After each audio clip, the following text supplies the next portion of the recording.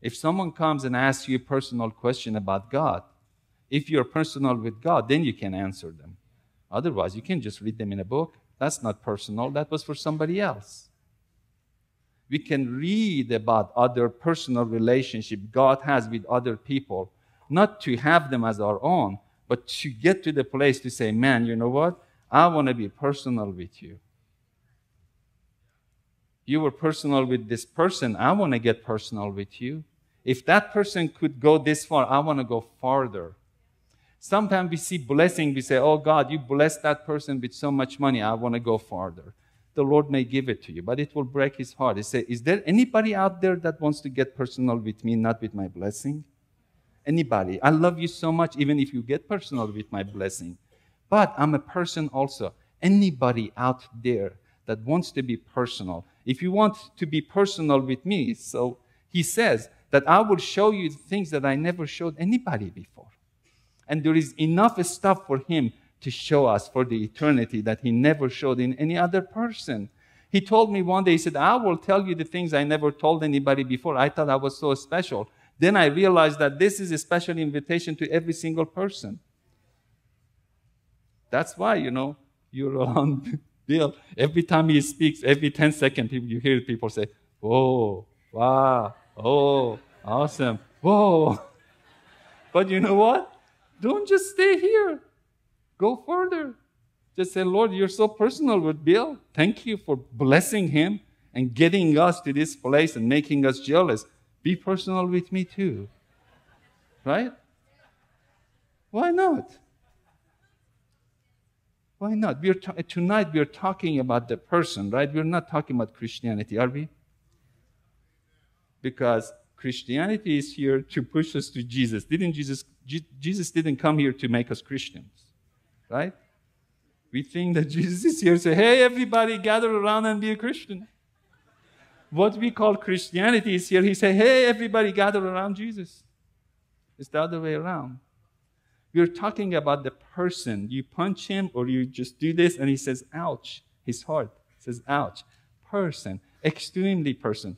To the degree he said, you know what? I'm going to be one of you and I'm going to look like one of you and come to earth.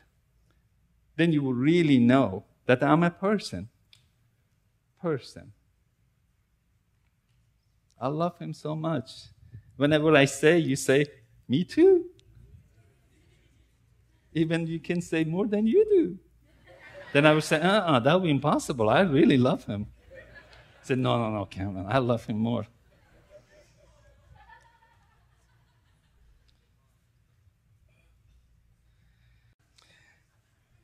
you know, we, I believe we really need to get to know him to the place, or he wants to show himself to us to a place that when you think about him, your heart even can't contain, even in your bad day, or what we call bad day. You know, we call it bad day.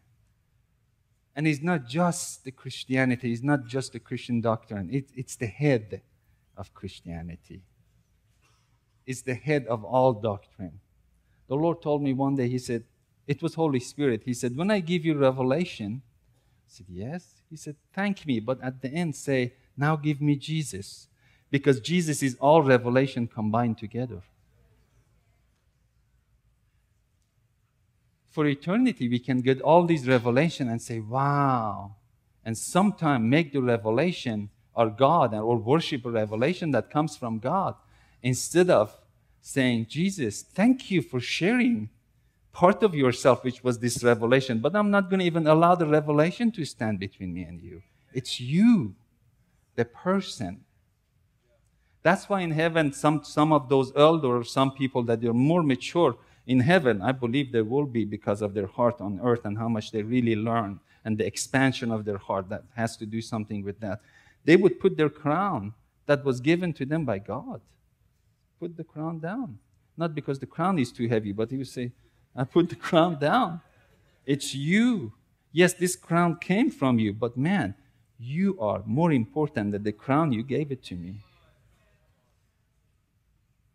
You promised me, the Lord showed me this in the very beginning. He said, I am bigger than what I promised.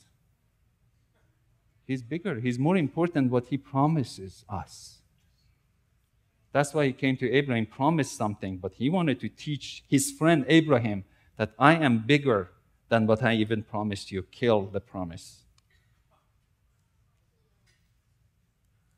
These are not normal revelation. These are here. We are sharing these things to really get to know the heart of God, to know the heart of the Father, that He goes so far that He sends His Son to us.